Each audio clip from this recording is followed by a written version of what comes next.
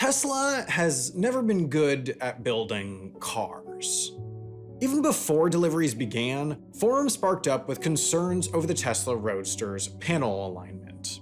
Since then, as the cars hit the road and the company shot skyward, complaints about Model S's with windows that leak when it rains or mispositioned wire looms, and Model X's with drooping window seals or mysterious rattles when reaching speed have become commonplace. When the Model 3 started rolling off the lots, the feedback was more of the same. The car was exciting and mostly great, it just wasn't built great. Condensation fogged headlights, interior paneling popped off, exterior pieces were misaligned, paint jobs were inconsistent, and some seals failed to hold while others were drowned in adhesives. No matter the year, the model, or the factory of origin, buying a new Tesla has always been a roll of a dice where the bad rolls have been laid out on Twitter. Of course, social media posts are inherently anecdotal in nature, but Tesla's struggle to deliver a consistent product goes beyond outraged individuals. Scroll YouTube's results for Tesla build quality, and the search will populate far more videos offering negative feedback than positive. Or take this poll on Tesla subreddit, where a majority of all respondents reported at least minor or cosmetic issues with their vehicle. While Twitter, YouTube, and Reddit may all have a bias towards negativity, you can take it from the man himself, Elon Musk, who admitted that the company's build quality waned when production ramped up. Or, for perhaps the most objective stance of all, there's the Consumer Reports annual reliability rankings, where Tesla placed second to last in 2021 and 19th out of 24 manufacturers in 2022. The company simply struggles to deliver consistent, reliable, well-assembled vehicles. It's been a problem since the beginning, it's been a problem the company has sought to address time and time again, and it's been a problem that's taken different forms over the years. But it's not a problem Tesla's tried to hide. It's not a deep, dirty secret, but rather something that comes with the territory. Tesla has lacked the consistency of legacy car manufacturers. After all, they aren't a legacy car manufacturer. They're the plucky upstart, the company that's been bent on changing the world, the company that's moved fast and broke stuff. The side effect's been inconsistent products, but from the perspective of the consumer, what's one minor rattle or subtle paint problem when you're leading the charge towards a brighter, bolder, greener, gasless future? Right? But even after building the car, Tesla struggles with a step that customers never even knew could go sideways.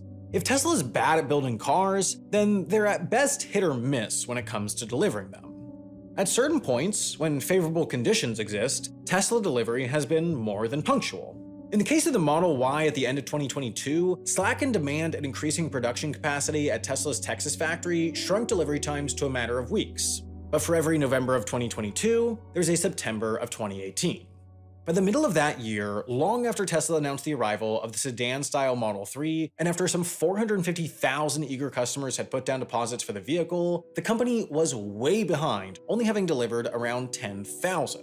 By September, Musk described Tesla's predicament as delivery logistics hell. But to be at the bleeding edge of what feels like a revolutionary purchase, Tesla buyers are generally willing to wait.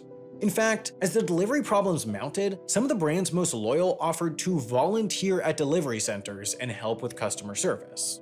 What Tesla customers didn't like, however, was being left to wait in the dark, or worse, feeling misled. Some of those who were once happy to wait showed up at delivery centers for their new Model 3 only to find that there wasn't one waiting for them, or that it had been damaged in shipping, or that they had been mistaken for someone with the same first name. Others excitedly waited for their delivery deadline, only to receive a call just days before that there would be another delay. Some of the scorn demanded refunds, others went to Twitter searching for answers when they couldn't get through to anyone at Tesla. Many let the experience shape their opinion. Now, ultimately, Tesla pulled itself out of the hole it dug, and the exasperated early adopters finally got their cars. But the problems persist. Buyers still check in on their delivery date only to see that it's been bumped back a month. Customers save their get ready for delivery in two weeks notices only for them to start piling up in their inbox, and the frustrated still ask what's going on over Twitter because that's the easiest means of getting an answer. Frustrations have also expanded beyond the labyrinth-like buying process too. Not only are Teslas more numerous than ever, some of them are now a decade old. As it's become common to see Teslas almost anywhere nationwide, the company only established 163 service centers spread across the US. That means if you own a Tesla in Flagstaff, Arizona, you're about 150 miles or 240 kilometers away from anyone certified to work on your vehicle. If you live in Wichita, Kansas, your nearest options are all a state border and a two hour drive away. Making things more difficult, service centers are low on loaner vehicles, so getting from Phoenix back to Flagstaff or Kansas City to Wichita requires a creative application of Tesla supplied Uber vouchers. Even as the company continues to expand its mobile service fleet, the growth of the service team is being outpaced by the total number of Teslas hitting American roads. So, whether stationary or mobile, Tesla's service capabilities are being overwhelmed. Where were once appointment wait times numbered in days have become numbered in weeks that are increasingly liable to cancel. Tesla's driving functions are reliable, an inherent plus of the electric drivetrain, but everything else is clearly not. So facing inconvenient service, Tesla owners just wait, listening to their rattles, air tones, and wind squeals for years, feeling increasingly fleeced by the company that demanded luxury car prices for something that looks nice but feels cheap. So the company is burning through their existing customers, the group most likely to buy future Teslas, which is certainly a problem, but perhaps even more concerningly, it's tough to understand what they're doing to attract new ones. It hardly seems like it's by offering them a deal. Compare a Model Y long range to a Mustang Mach-E Premium, and it has slightly better acceleration, slightly longer range, but a slightly higher price. As far as distinguishable differences go, there are few. It's a similar story upmarket with the Model S. The Lucid Air nearly matches on acceleration, beats it on range, and is close enough in price that few in this market segment would bat an eye. And then if you go all the way to the other side of the market, Tesla is bested by Chevrolet, whose base model Bolt EV starts for some $15,000 less than the base Model 3, while coming close on many specs. So it's clear that Tesla is not trying to compete based on price, so it's probably something else. Maybe it's by offering something different. Maybe they're trying to entice the market by offering a vehicle that nobody else does, but everybody else wants. Well, while unique in their minimalistic design, the broad strokes of Tesla's product lineup is uniquely basic. Mid-market sedan, mid-market SUV, upmarket sedan, upmarket SUV. That's it. Bafflingly, Tesla had the opportunity to differentiate its product lineup, and it recognized how massive an opportunity doing so would be, but then just didn't. Year after year after year, it's never been a surprise who will top the list of American vehicle sales. It's the Ford F-Series. It's always the Ford F-Series. In Kansas or Texas or Louisiana, the pickup represents about one of every 20 new car sales. In Wyoming, it's more like 1 in 16, while up in Montana, 1 in every 13 new cars is a Ford F-150. These pickups are just so popular, and the only vehicles that even come close to their sales figures are close equivalents like the Chevy Silverado or Ram trucks.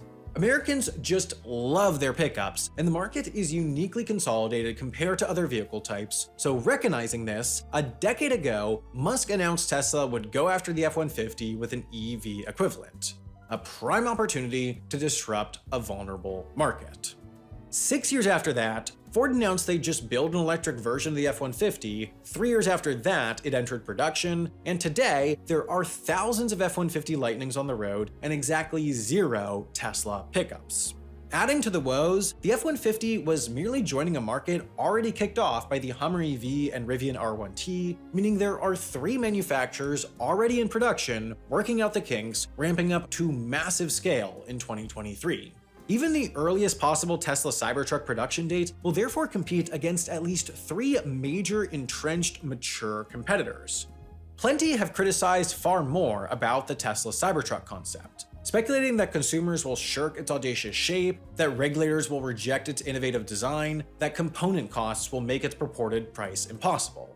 That could all be true. In fact, considering Musk himself admitted the company did zero market research for the vehicle, it more likely is, but perhaps the most crucial critique of the vehicle is the fact that it doesn't yet exist. First moves matter. Consumers can read a review about the Lightning, take a Rivian on a test drive, even walk up to a dealer and buy a Hummer EV today, while the Cybertruck is relegated to the More tab of Tesla's website, featuring absolutely zero specifications or even prices, merely the option to leave a $100 refundable deposit for the chance to get in line to buy the vehicle once it finally exists. While the devoted few will maintain that the Cybertruck will change the game, it would have been far easier for Tesla to define the game years ago when it first recognized the opportunity that it later squandered. But maybe they're not trying to compete on cost, and maybe they're not trying to compete on differentiation. Maybe China is the answer. Tesla believed that enough to cozy up with the CCP and open a factory in Shanghai, largely to produce cars for the Chinese market itself, and this has gone decently. They sell tens of thousands of vehicles to the country each month, accounting for about 40% of the company's total sales, but in the largest EV market in the world, Tesla is not the largest EV manufacturer. That's BYD. No company globally produces more EVs, they are now bigger than Tesla from a volume perspective, but that's not the most staggering part. This is. Their growth rate is ferocious. And here's Tesla's. It is famously difficult for Western companies to sustainably compete in the Chinese market. Amazon failed, Uber failed, Airbnb failed, Google, Best Buy, Home Depot, Macy's, eBay, Yahoo. It's harder to find one that did work than didn't. China is just such an immense market that there are equivalent quality alternatives to Western products that are better suited to the needs and wants of Chinese consumers, which leave Western managers dumbfounded. They don't understand why they're getting beat, and that's the point. They don't understand. Chinese companies are able to fulfill the tiny, unique, nuanced preferences of Chinese consumers better than foreigners, so in Tesla's case, inevitably, their vehicles are going to be worse for Chinese consumers than the homegrown alternatives, and unless they succeed where almost all their equivalents have failed, they just won't be able to understand why. Foreign-made vehicles do sell in China, but primarily as luxury goods, selling Americanness or Germanness or Britishness as a brand, rather than competing on the merits of the vehicles themselves. That means that China can be a massive market for Tesla, but they'll struggle to go mass market. They'll always be a secondary player, meaning it might not be a market worth betting on. So maybe it's not price, not differentiation, not market, not any of the traditional ways that companies gain an edge. Maybe it's innovation, in 2016, after being dropped by its previous autonomous partner over safety concerns, Tesla charted a new vision for full self-driving and quickly started selling a software package referred to as full self-driving for $3,000 soon after. But full self-driving didn't exactly mean full self-driving.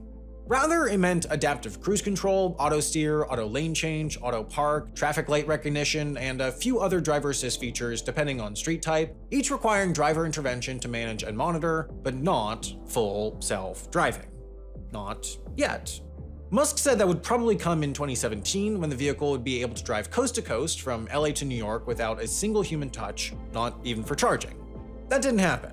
It also didn't happen in 2018 or 2019 or 2020 or 2021 either, and all the while, Musk and Tesla salespeople, following orders, pressured consumers into paying for the software upgrade, telling them to get it now before the price would rise, which it did, all the way to $15,000, despite the fact that, still today, Teslas are not capable of full self-driving.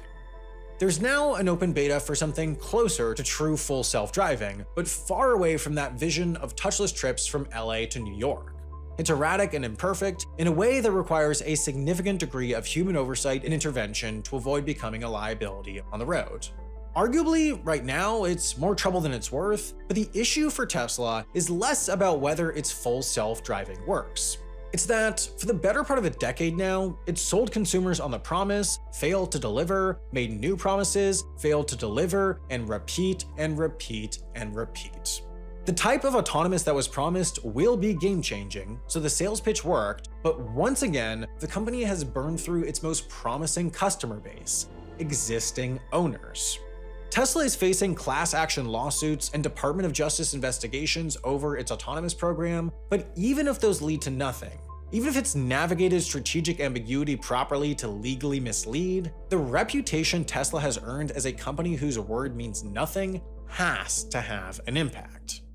Okay, so not price, not differentiation, not market, not innovation. Maybe it's Musk? Maybe his cult to personality is so strong that consumers will buy the vehicle specifically because it's his? Maybe he's the brand. In fact, maybe he's deliberately calibrating his public image to appeal to a demographic less likely to buy an EV, strengthening that fledgling consumer segment for the company. Well, if that's what's happening, it's not working.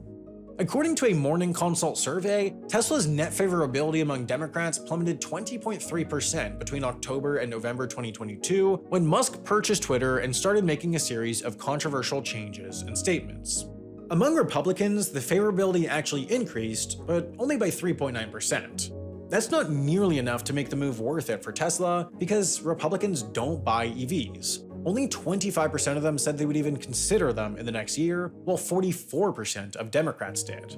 So, if you make the very simple assumption that a company's favorability correlates to its shares, Elon Musk's actions objectively reduced Tesla's sales and took money out of its shareholders' pockets. While Musk might have been the visionary behind the disruptive behemoth, today he's a liability, an increasingly unlikable loose cannon who can't seem to separate his image from the company's there's not a whole lot left to set Tesla apart. This isn't an existential threat. It's not like Tesla is going to suddenly start fading away. It's still a tremendously large, profitable company with an incredibly passionate fanbase that will find ways to defend any and all accusations of weakness, and there are clearly hordes of people that love their vehicles. But people are learning to love other EVs, too. Rife with quality issues, poor customer service, broken promises, and a generally amateur feeling, consumers are taking the safe route and increasingly opting for the options put forward by the incumbent manufacturers. Meanwhile, startups like Rivian are looking at Tesla's shortcomings and addressing them, offering better quality, better customer support, and better communication. So Tesla's just sitting there, preying on their downfall, letting market share just march out the front door. Tesla's competitive advantage was built on scarcity. For most of their history, they were the only legitimate horse in the EV race. Consumers were willing to deal with bad quality and service and communication because it's the price you have to pay to get something groundbreaking. But Tesla is no longer a startup. It's one of the largest companies in the world, yet it still operates like a startup. Meanwhile, Ford, GM, Volkswagen, Rivian, and others are acting as the adults in the room Company culture is notoriously difficult to change, and that difficulty mounts the larger a company becomes. So when you have something as massive as Tesla that is still in startup mentality, it is really hard to understand how that will change. Tesla's fumble is what it could have been. They had a decade head start on the burgeoning industry that, within decades, will just be known as the auto industry. They could have been the auto manufacturer. They could have been a giant they could have been Ford, GM, and Chrysler. But instead, the other EVs are here. They're popular, they're competitive, and while Tesla keeps making excuses, breaking promises, burning bridges, and swinging wildly for the fences to keep the hope alive, everyone else is slowly and methodically chipping away. Maybe Tesla succeeds, Maybe it's able to use its dominant market position to maintain its dominant market position, but what's sure is that it's going to be a whole lot harder than it had to be. This day of mature mainstream EV market competition was always going to come, and yet Tesla did little to prepare and did lots to open up pathways for their competitors to eat into their market share. So, if in 10 years Tesla is anything but the biggest car manufacturer in America, the explanation will likely be less about what it does over the next decade and more about what it didn't do in the years it squandered leading up to today. This video sponsor is Wren, and some of you may be surprised by that because Wren is a carbon offsetting provider. Last year, I made a video about how the carbon offsetting market is a scam because it incentivizes ineffective offsets that actually increase overall carbon output. The video got a ton of attention, even making it onto Last Week Tonight with John Oliver, meaning it made it all the way to the people behind Wren. Their whole idea is to be a carbon offsetting provider that has the greatest chance of actually working. Now, I want to be careful to say that I'm not encouraging anyone to carbon offset. I think that's really down to you because at the end of the day, carbon offsetting is not going to solve climate change. Only top-down legislative action can do that, but if you, like me, want to do everything possible to reduce the likelihood that your life is perpetuating the problem, then Wren is probably the best offsetter to use. Before even considering taking a sponsorship, I got on the phone with their CEO, head of project evaluation, and a few others from their leadership team and grilled them with questions for more than an hour about how their project evaluation process works, why they pick the projects they do, what they do if a project goes wrong, and they had really thoughtful, detailed, upfront answers to everything. Inherently, there's always going to be uncertainty when creating a carbon offsetting program, but Wren has worked to reduce the risks that uncertainty poses by only allowing Offset 3 portfolio of their eight active projects, meaning if one fails, the others are still there to keep the average stable. That also means they're able to fund projects that certainly have an impact but are tougher to quantify. For example, their Carbon 180 project funds political advocacy for other projects and policies that will curb carbon emissions, which could be incredibly effective, but is obviously high risk and tough to quantify compared to a more traditional project like producing and distributing clean cooking fuel to refugees. I can't possibly explain all the methods Wren uses to assure the effectiveness of what they do, but they do a really impressive job of explaining it in an understandable way, so I'd encourage you to dig into their website until you're satisfied. So if you want to offset your carbon footprint, make sure it's effective and do it with Wren. The first 100 people who sign up by clicking the button on screen or in the link in the description will have 10 extra trees planted in their name.